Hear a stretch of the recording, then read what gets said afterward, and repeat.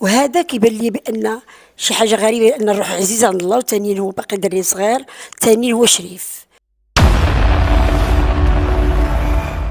جميل كتأكد ذلك. تصور فين لقاو جثة في واد مرجد هذيك آه، اللي علم بالدرك بأن كاين الجثة خد هو الحارس ديال ديال واحد الشركة اللي سميتها حياة يعني الأم حياة.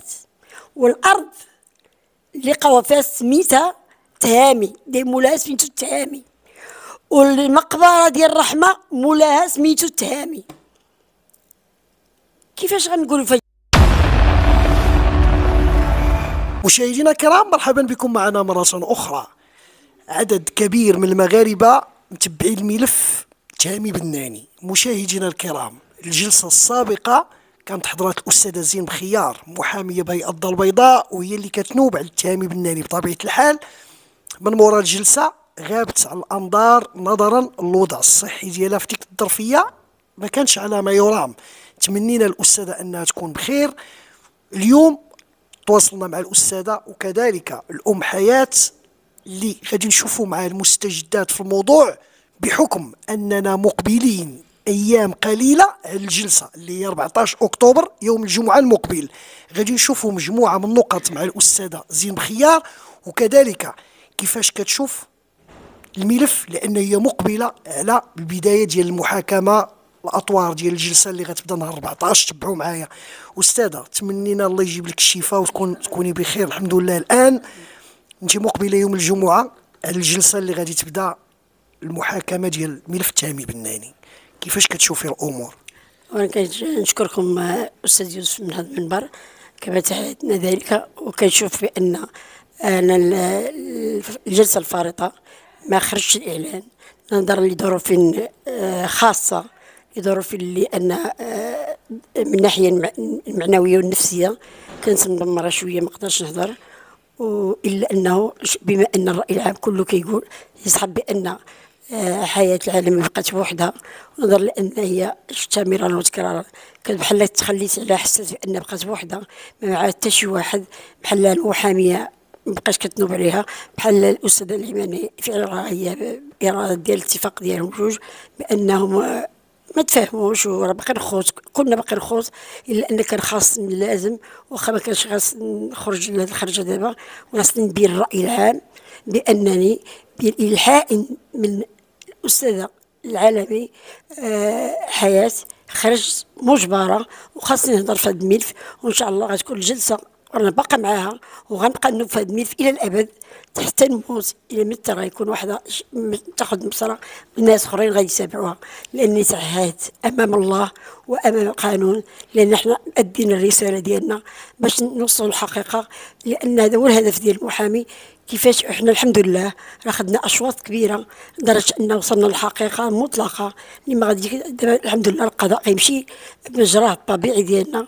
وحنا آه، صافي قلنا بأنه آه، الواقع راه وقعت قتل باش لأن ما كناش كنقولوا القتل على أساس ما عندناش آه، ما عندناش ما عندناش الصفه لأن ما كانش عندنا القبر ما كانش الدفء ما يمكنش دير عدد متورثه باش تنصب كمطالب الحق المدني إلا أن دابا ما دام وصلنا الوقائع عندنا معطيات خطيرة جدا لأن حطيتها القضاء وتعهدت القضاء بأن عندي جميع الدفوعات اللي غنعطي. غتوضح هذا الشيء وكاين وحدين آخرين ثاني تقدمت في شكايات في هذا الموضوع. بناس أخرين إن شاء الله غياخذ مجراهم الطبيعي لأن هذا هو الدور ديال المحامي لأن نحن مأدين واحد الرسالة واحد الأمانة قدام الله باش نوصلوا الحقيقة ولا شيء غير الحقيقة. وأنا يكون كل شيء المغاربة على الصعيد المغربي والخارجي بأنني أنا كما تعهدت أنا غنبقى في الملف ديال التهامي بناني إلى الأبد حتى نوصلوا الحقيقة حتى صدور الحكم حتى نعرفوا الحقيقة ما نزقلوا حتى شي واحد. ولا هذه الحقيقة ولو لا شيء غير الحقيقة واخا تكون قطع الرأس. أستاذ أنا عندي معك سؤال واحد في الموضوع. هذا السؤال تيتعلق بالجلسة الفارطة. آنفا السيد الرئيس أول ظهور للشاهدة اللي طلبتوا أنتم أنه تحضروا حضرات. وكذلك السيد الرئيس أعطى واحد القيمة كبيرة لهذا الملف كجلسة خاصة. يعني هذا الجديد في الملف وانت مقبلة على الجلسة. اللي بطبيعة الحال غتكون عندكم الدفعات الشكليه أعتقد غادي تكون عندكم مجموعة من الخطوات اللي غتبدا في الملف. كيفاش كتشوفي انت الأمور؟ خطوات السيد الرئيس وكذلك منهجية ديالك في الاطار القانوني لهذا الملف. كيفاش كتشوفيه؟ هو حيث سيد الرئيس كان مشكورا لأن بلنا جميع الطلبات اللي طالبنا بها. فيما يخص إحضار الشاهدة بالقوى العمومية كما قام باستدعاء جميع آه، لجميع المصرحين ديال المحضر وكذلك شهود أخرين كنا إحنا طالبنا بهم. كانت كانوا كلشي الأعضاء كلشي الأطراف موجودة. ذاك قرر اعتبار الملف جاهز نهار الجمعة. ماشي الناس ما يفهموش بأن جلسة سرية لا جلسة خاصة لأن هذا الملف طويل وغادي يطول وفي الهضرة بزاف غتبدا المناقشة ما يمكنش خاصنا نخصصوا ليه النهار بوحده لا يعني بأن غيكون ذاك النهار الحكم لا يلا الدفعات التشكيلية يلا يلا باقي شي ناس خاصنا نسمعوا لهم يعني أنا الملف باقي ما يتحكم به تقريبا ولكن على الأقل خاصه ضروري ضروري كما صار قاضي التحقيق مشكور من هذا المنبر بما أنه استدعى جميع الأطراف يعني أنه بغى يوصل الحقيقة يعني بأن الملف جهزوا يعني بغى يسرعوا في هذه المسطرة لأن الحقيقة بانت ما كاين حتى شي واحد بقينا غاديين. لا كون ما كانش إعلان. أنا كنقول من هذا المنبر لأن الاعلان نورنا لأن كون ما تعرفش هذا الملف أنا كنت متيقنة لأن على بناء على المعطيات اللي تعطات مادام بأن ذاك الدري القاصر خد البراءة فيما يخص عدم التبليغ وداروا بأن تميمات تميمات ولاحوه. يعني أن كان بالنسبة للدري اللي كون كان هاد الدراري الرشداء اللي كون كان دازوا في الجلسة في ديك الساعة على أساس القتل. هما تيقولوا مات ولحناه ما كاينش جثة ما كاينش اعتراف كان غادي يكون براءه على هذا الأساس حنا كيفنا المتابعة؟ لا مش كيفنا على أساس من على أساس راه اختفي ولا ولا مختطف. لا أنا من الأول كنقول قتل. ما عمري ما قلت ما كاينش قتل. من الأول ملي خت الميت عرفت كاين القتل إلا انه ما كانش عندنا المعطيات باش نقولوا القتل. دابا عندنا جميع وسائل الإثبات اللي غتفيدنا دابا. اللي غيقتنع الجميع بما فيه القضاء المحامون العموم الرأي العام. غيشوف بأن هذه الحقيقة اللي غنعطيوها الظرف حتى واحد بوضوح غنعطيوها. وهذه الحقيقة. ولا شيء الحقيقة الحقيقة. لأن الحقيقة إشنو هي؟ الحقيقة راهي حقيقة ديال الله تيعطي حتى واحد ما تيحكم تحكم العبد كيحكم الله. أستاذة كذلك في الحوار السابق مع الأستاذة حياة تكلمت على صور. هاد الصور عاد بانت كنتي انت اللي تقدمتي بيو تقدمتي للمحكمة وقدرتي تشوفي هاد الصور اللي بحكم أن الصور ما شفتهمش قبل.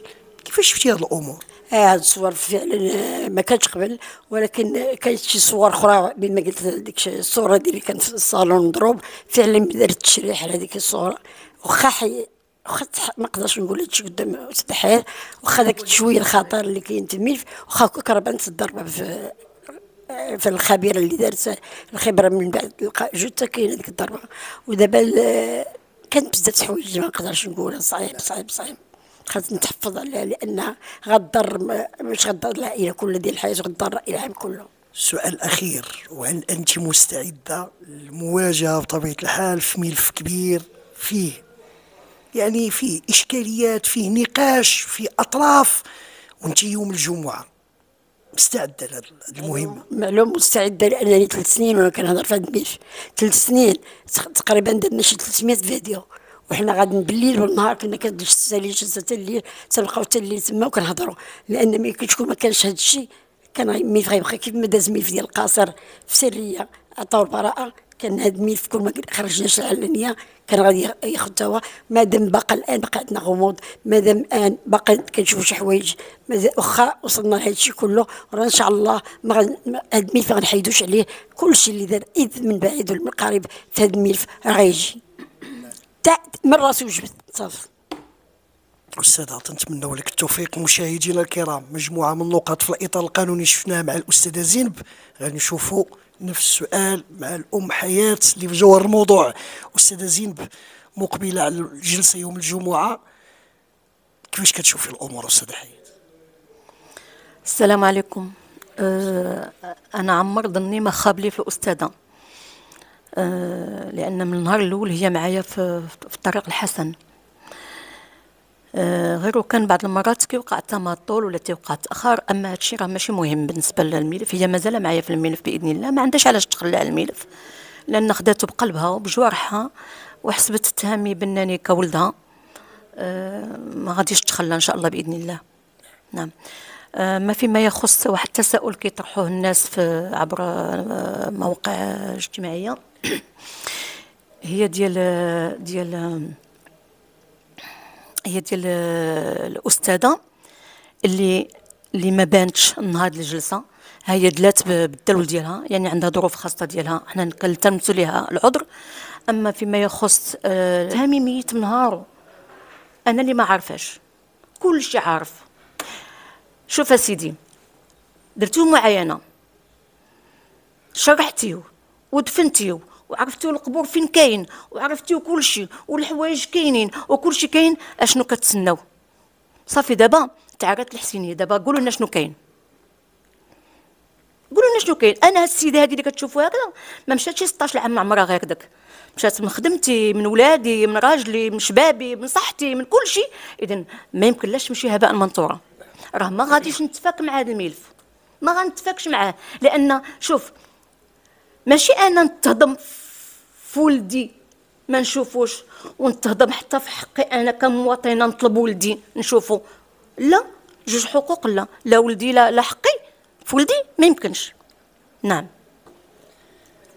أستاذة مرحبا. بالنسبة لي اولا هذا الملف علاش أنا أنا صممت باش نوصل في النهاية. لأنني ما عمري شفتو حلمت بجوج مرات. ملي خدت الملف وأكدوا لي جميع الناس جميع الناس إذا من يديهم هذا الملف حلموا به. وهذا كيبان لي بأن شي حاجة غريبة لأن الروح عزيز عند الله وثانيا هو باقي دري صغير ثانيا هو شريف.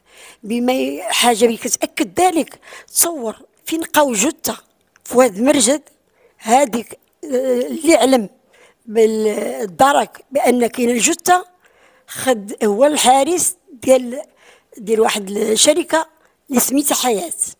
يعني الأم حياة. والأرض اللي لقاوها فيها سميتها تهامي ديال مولاها سميتو التهامي والمقبرة ديال الرحمة مولاها سميتو التهامي كيفاش غنقولوا فهاد يعني الله سخر هاد الناس هاد الجماعة اللي كلهم ضامنوا في هذا الملف الله اللي مسخروا لهذا الولد. حيت لا يعقل هذا هذا الشيء وقع بالصدفة يعني أن الله راه كبير. راه ما كاينش شي واحد فوق الله. كنا ما كنسوو حتى شي حاجة فوق الله. هاد الاضافه اللي نضيفها باش يعرفوا راه هذا الدري راه روح عزيز عند الله وربي ما خلاش. راه وضحت شي أمور اللي غريبة في هذا الملف لدرجة أننا وصلنا للحقيقة وغنزيدوا نوصلوا إلى الأمام.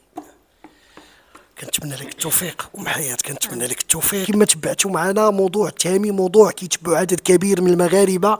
وهنا كنوجه كذلك الشكر الجزيل للقضاء المغربي وبالضبط يعني الجلسة الهيئة المختصة في هذا الملف اللي عند اولويات وعاطيه الملف قيمة باش تناقشوا من جميع الجوانب ديالو. هاد الشجاعة ديال القاضي بطبيعة الحال اللي استدعى الشهود اللي غادي يفيدوه بطبيعة الحال أنه يكون الصورة على الملف وكذلك يتبع المراحل ديال الجلسات كاملين باش يكون القناعة الشخصية ويكون العدالة. قبل ما يصدر الحكم بطبيعه الحال مشاهدينا الكرام مجموعة من الحيثيات في هذا الملف تناقش بشقين شق إيجابي وشق سلبي وهو في حد ذاته هذا الكلام هو صحي لأنه المنطق يقول فئة تقول نعم فئة أخرى تقول لا وفئة محافظة وهذا هو أساس الديمقراطية. فيما يخص مجموعة من النقط اللي تكلمنا لها مع الأستاذة اللي هي تعتبر أم وعانات في هذا الملف وكذلك مجموعة من الناس اللي هما تعتبروا جنود الخفاء. كذلك الأستاذة زين خيار هي مقبلة على الجلسة لها منهجية محكمة في التتبع الملف ولها أدلة كذلك اللي غتقدمها أمام الهيئة. مشاهدينا الكرام حتى لا أطيل عليكم نحن نتتبع هذا الملف وسوف نوافيكم دائما بالجديد فيما يخص قضية تامي بناني مشاهدينا الكرام يوم الجمعة إن شاء الله نشوفوا الجديد. تبعوا معنا.